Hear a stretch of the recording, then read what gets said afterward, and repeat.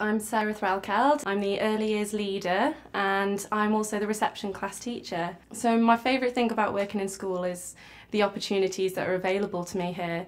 It's not very often that you can work, um, begin working in a startup school and really put your mark on that school.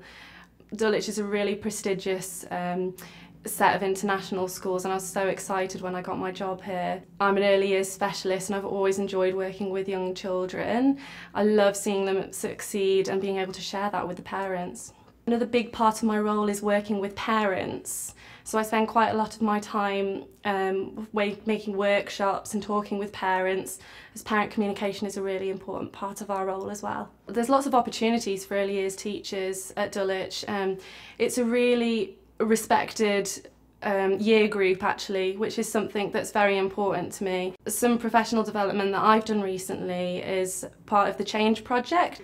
So I really wanted to look at how outdoor education and, and how our outdoor facilities were being used.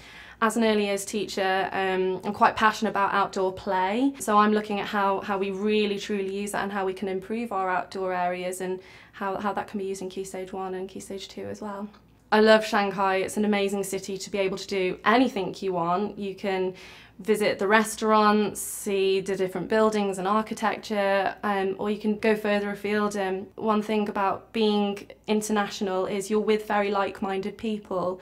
So the friends that you make in school, they're all quite similar to you. They all have that bit of zest for adventure and, and want to sort of explore, explore what's around them really. So yeah, it's been great, very positive experience.